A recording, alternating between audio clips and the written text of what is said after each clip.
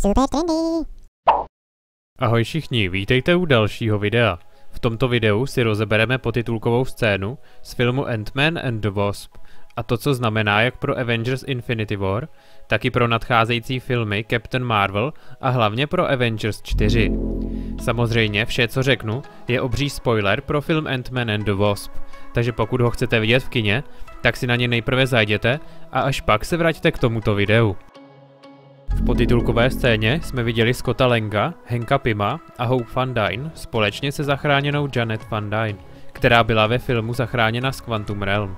K tomu byl ve filmu použit kvantový tunel, který byl ve své zmenšené verzi zabudován do Louisovy dodávky. Ant-Man v podání Scotta Lenga se v potitulkové scéně vydal do Quantum Realm, aby nazbíral léčivé kvantové částice pro Ghost, která byla ve filmu spíš jen poloviční záporačkou.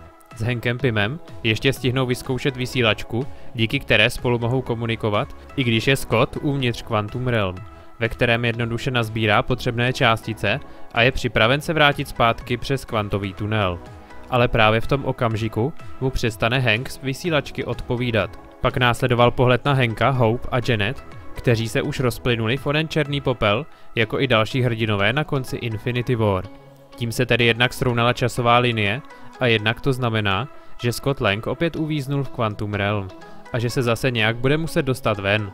A to, jak se dostane ven, bylo naznačeno i v samotném filmu. Takže teď si řekneme, jak Avengers 4 začnou tam, kde skončil film Ant-Man and the Wasp. Během filmu jsme se dozvěděli o různých částech Quantum Realm, kdy třeba hledaná Janet Van Dyne se nacházela za částí nazvanou Quantum Void. Těsně předtím, než šel Scott Lang v potitulkové scéně nazbírat kvantové částice, tak byl upozorněn na to, aby se nedostal do některého z Time Vortex, protože by ho ostatní nebyli schopni dostat zpátky. A tento pojem je vlastně to nejdůležitější nejen na potitulkové scéně, ale v podstatě i na celém filmu. Protože to jen potvrzuje teorii o tom, že v Avengers 4 se bude cestovat časem, protože například i Doctor Who cestuje napříč časem ve své lodi TARDIS také uvnitř Time Vortexu.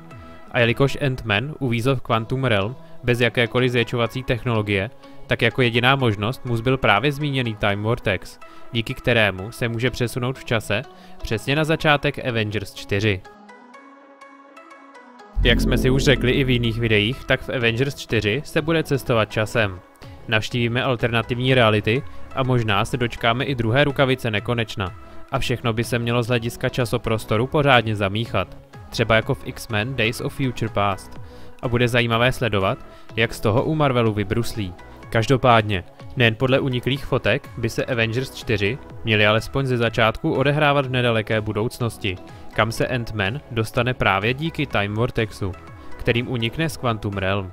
Tím se ale posune v čase zhruba tak o 10 let dopředu, protože jednak je pro Avengers 4 potvrzená nová herečka, která stvární Scottovu dceru Cassie, která ale bude poněkud starší než její verze v Ant-Man and the Wasp. A jednak podle uniklých fotek víme, že by se v Avengers 4 měl objevit starší Tony Stark, ale i mladé verze Avengers z bitvy o New York, kde se nejspíš Tony Stark z budoucnosti pokusí unést Lokiho, který se tak možná zase vrátí do MCU. Každopádně, cestovat v čase by se v Avengers 4 nemělo jen do budoucnosti, ale i do minulosti. A ve filmu Ant-Man and the Wasp jsme se dozvěděli, jak to bude provedeno. Jak už jsem zmínil, tak ve filmu jsme dostali i důležitou zmínku ohledně filmu Captain Marvel. Už v jiném videu jsme si řekli, že na prvním ženském solovém filmu od Marvelu pracuje i kvantový fyzik Spiros Michalakis, který řekl, že Quantum Realm se hraje velkou roli pro pochopení schopností právě Captain Marvel. A ještě víme, že Carol Danvers dostane nový origin, který bude jiný než ten komiksový, který hodně připomíná Green Lanterna. A teď se dostáváme k druhému filmu Ant-Mana, protože při záchraně Janet Van Dyne z Quantum Realm řekla, že se z ní stala nová bytost a že prošla evolucí. Na konci filmu dokonce zachránila záporačku Ghost tím, že jí předala kvantovou energii. Úplný rozsah jejich schopností jsme tedy neviděli, ale dá se předpokládat, že podobný zdroj schopností bude mít i Carol Danvers, co by Captain Marvel ve svém filmu. Na úplném konci filmu ještě byla druhá potitulková scéna, kterou jsme tak trochu již viděli v traileru. A to když jeden z obřích mravenců hraje v domě Scotta Lenga na bubnový set ke hře Guitar Hero. I tato scéna, i když dost odlehčeně, navazuje na Infinity War. protože je krátce vidět v televizi, že běží krizové vysílání a v pozadí je slyšet siréna.